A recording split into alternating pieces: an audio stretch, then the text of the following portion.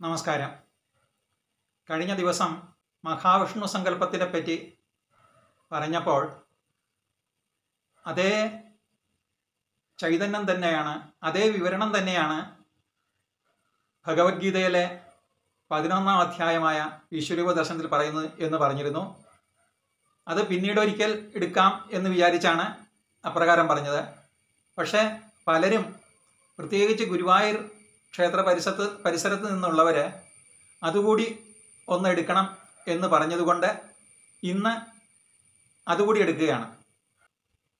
അർജുനൻ തേർത്തട്ടിൽ തളർന്നിരുന്നപ്പോൾ അദ്ദേഹത്തെ ഉത്ബോധിപ്പിക്കാനാണ് അല്ലെങ്കിൽ ചൈതന്യവത്താക്കാനാണ് ശ്രീകൃഷ്ണൻ ഭഗവത്ഗീത ഉപദേശിച്ചത് എന്ന് നമുക്കറിയാമല്ലോ.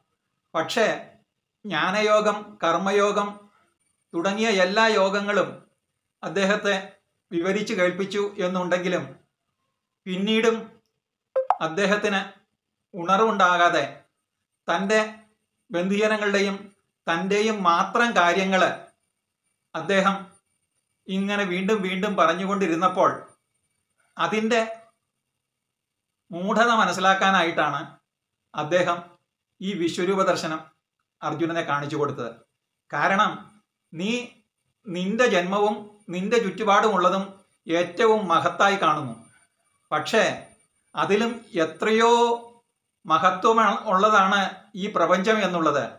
ഈ പ്രപഞ്ചത്തെക്കുറിച്ചുള്ള ജ്ഞാനം നിനക്ക് കിട്ടിയാൽ നിന്റെ ജീവിതവും നിന്റെ ചുറ്റുപാടും എത്രയോ നിസാരമാണ് എന്ന് നിനക്ക് മനസ്സിലാകും എന്ന് പറഞ്ഞുകൊണ്ടാണ് യഥാർത്ഥത്തിൽ അർജുനനെ വിശ്വരൂപ ദർശനം കാണിച്ചു കൊടുക്കുന്നത്. വിശ്വരൂപ ദർശനം കാണുന്നതിന് ജ്ഞാനചക്ഷുസ് കൊടുത്തു എന്നാണ് പറയുന്നത്.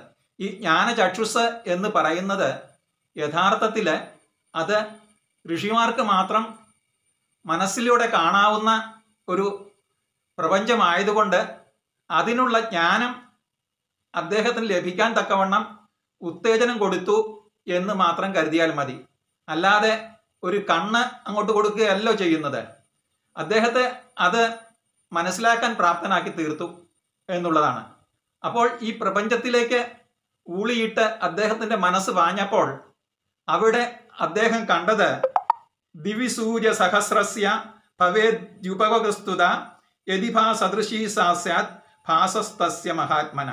ഒരായിരം സൂര്യന്മാര് ഉദിച്ചുയരുന്നത് പോലെയുള്ള ഒരു തേജസ് അദ്ദേഹം കണ്ടു എന്നാണ് പറയുന്നത്.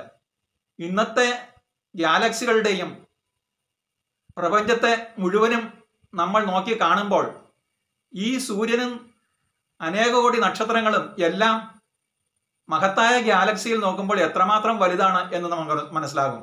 ആയിരം സൂര്യന്മാരല്ല പതിനായിരക്കണക്കിന് സൂര്യന്മാരും അവിടെ ഉണ്ടെന്നും നമ്മുടെ സാധാരണ സൂര്യനേക്കാൾ വലിയ സൂര്യന്മാരും ഉണ്ടെന്നും അവിടെ നോക്കുമ്പോൾ നമുക്ക് മനസ്സിലാകും. അതാണ് അത്രയും വലിയ ഒരു തേജസ്സായിട്ട് അർജുനന് മനസ്സിലായി എന്ന് പറയുന്നത്. വേറൊന്ന് യഥാ പ്രദീപ്തം ജ്വലനം പതംഗ വിശന്തി നാശായ സമൃദ്ധവേഗ തഥൈവ നാശായ വിശന്തി ലോക സ്തവാപി വക്രാണി സമൃദ്ധവേഗ. ശലഭങ്ങൾ അതായത് ഈയാമ്പാറ്റകൾ എങ്ങനെ തീജ്വാല കാണുമ്പോൾ ഓടിച്ചെന്ന് അതിലേക്ക് വീണ് സ്വയം കത്തി അമരുന്നുവോ? അതുപോലെയാണ് ഈ പ്രപഞ്ചത്തിലെ സകല ജീവജാലങ്ങളും. ഭഗവാന്റെ വക്രത്തിലേക്ക് ഓടിച്ചെന്ന് അടു വീഴുന്നതും അവിടെ നശിക്കുന്നതും എന്ന് പറയുന്നു.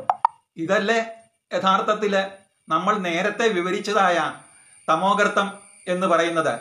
ഈ തമോഗർത്തം എന്ന് പറയുന്നത് ഭഗവാന്റെ വായായി കണക്കാക്കിയാൽ ഈ എല്ലാ ലോകങ്ങളും വളരെ വേഗത്തിൽ കോടിക്കണക്കിന് പ്രകാശവർഷം വേഗത്തിൽ തന്നെയാണ് അങ്ങോട്ട് അടുത്തുകൊണ്ടിരിക്കുന്നത്. അവിടെ ചെന്ന് അതിന്റെ ഉള്ളിലേക്ക് പ്രവേശിച്ചാൽ പിന്നെ എന്താണ് നടക്കുന്നതെന്ന് ആർക്കും അറിയില്ല. പിന്നീട് ഭഗവത്ഗീതയിൽ പറയുന്നു അതിനുശേഷം അദ്ദേഹത്തിന്റെ മറ്റ് അവയവങ്ങളിൽ കൂടി അതായത് ചെവിയിലും മറ്റും കൂടി പുറത്തേക്ക് വരുന്നു വേറെയായിട്ട് എന്ന് പറയുന്നു. ഇത് തന്നെയാണ് തമോകൃത്തത്തിൽ പ്രവേശിക്കുന്ന ലോകത്തിനും പറ്റുന്നത്. അവിടെ നിന്നും മറ്റൊരു വശത്ത് വേറെ ലോകങ്ങളായിട്ട് ഉത്ഭവിക്കുന്നു എന്നാണ് ഇപ്പോഴത്തെ ശാസ്ത്രജ്ഞന്മാർ പറയുന്നത്. വേറൊന്ന് അനാദിമധ്യാന്തം അനന്തവീര്യം അനന്തബാഹും ശശിസൂര്യനേത്രം പശ്യാനിത്വാം ദീപ്ത ഹൃദാശവക്ത്ര സ്വതേജസ വിശ്വം ഇതന്തബന്ധം ആദിമധ്യാന്തരഹിതനായിട്ട് അളവറ്റ വീര്യത്തോടുകൂടി അനേകം ബാഹുക്കളും സൂര്യചന്ദ്രന്മാരാകുന്ന നേത്രങ്ങളും ഉള്ളവനായി ജ്വലിക്കുന്ന അഗ്നിയാകുന്ന മുഖത്തോടു കൂടിയവനായി ഈ പ്രപഞ്ചത്തെ മുഴുവൻ സ്വന്തം തേജസ്സൽ തപിപ്പിക്കുന്നതിനായി ഞാൻ അങ്ങയെ കാണുന്നു. ഇതുതന്നെയാണ് അനേകം സൂര്യന്മാരും ചന്ദ്രന്മാരും ഗോളങ്ങളും എല്ലാം ഉള്ളതായ ഈ പ്രപഞ്ചത്തെ നമ്മൾ മനക്കണ്ണുകൊണ്ട് നമ്മൾ കണ്ടാൽ നമുക്കും തോന്നുന്നത് ഇത് തന്നെയാണ്. അപ്പോൾ അന്ന് അയ്യായിരം വർഷം മുമ്പേ കൃഷ്ണൻ അർജുനനോട് പറഞ്ഞു എന്ന് പറയുന്ന കാര്യങ്ങൾ വ്യാസഭഗവാൻ അദ്ദേഹത്തിന്റെ ഉൾക്കൊണ്ടുകൊണ്ടുകൊണ്ടും പണ്ട് നടന്നതായ ആ കാര്യങ്ങളും വിവരിക്കുമ്പോൾ അദ്ദേഹത്തിനും ഈ പ്രപഞ്ചത്തെപ്പറ്റി ജ്ഞാനം ഉണ്ടായിരിക്കേണ്ടതല്ലേ? അതല്ലേ അദ്ദേഹം ഭഗവത്ഗീതയിലൂടെ വിവരിച്ചിരിക്കുന്നതും. അപ്പോൾ ഇന്നത്തെ അത്യന്താധുനിക ശാസ്ത്രജ്ഞന്മാര് ഹബിൾ ടെലസ്കോപ്പ് പോലെയുള്ള അതിനൂതനങ്ങളായ ടെലസ്കോപ്പ് ടെലസ്കോപ്പുകൾ വച്ച് നോക്കിയിട്ട് കണ്ട അതേ ചൈതന്യത്തെയാണ് യഥാർത്ഥത്തിൽ ശ്രീകൃഷ്ണനും വ്യാസഭഗവാനും വർണിക്കുന്നത്. ഇത് മനസ്സിലാക്കാതെയാണ് നമ്മളിൽ പലരും വീണ്ടും വീണ്ടും ഭഗവത്ഗീത വെറും കെട്ടുകഥയാണെന്നും അതിൽ പറഞ്ഞിരിക്കുന്ന എല്ലാം ശുദ്ധ അബദ്ധങ്ങളാണെന്നും പറയുന്നത്. അല്പമെങ്കിലും ബുദ്ധി ഉപയോഗിക്കാൻ ഉള്ള ക്ഷമയുണ്ട് എന്നുണ്ടെങ്കിൽ ഇതൊന്ന് ശ്രദ്ധിച്ച് കേട്ടാൽ നമുക്ക് നമ്മുടെ ജീവിതത്തിൽ സ്വന്തമായി എന്തെങ്കിലും ഒരു നല്ല നിലയിൽ എത്തിച്ചേരാൻ നമുക്ക് കഴിയും എന്നുള്ളത് തീർച്ചയാണ്. ഈ പ്രപഞ്ചത്തെ അതേ രീതിയിൽ കണ്ടപ്പോഴാണ് താൻ എത്ര നിസാരനാണെന്നും തന്റെ കർമ്മങ്ങൾ യഥാർത്ഥത്തിൽ പ്രപഞ്ചം ഏൽപ്പിച്ചിരിക്കുന്ന ദൗത്യമാണെന്നും അത് ചെയ്യേണ്ടത് അത്യാവശ്യമാണെന്ന് മനസ്സിലാക്കി അർജുനൻ പരിപൂർണ സംതൃപ്തിയോടെ യുദ്ധത്തിന് തയ്യാറായത്. ഇതാണ് ഭഗവത്ഗീതയുടെ മുഖ്യ ഉദ്ദേശവും. ഇതിന്റെ വ്യംഗ്യാർത്ഥവും ലക്ഷ്യാർത്ഥവും ഇതുതന്നെയാണ് നമസ്കാരം.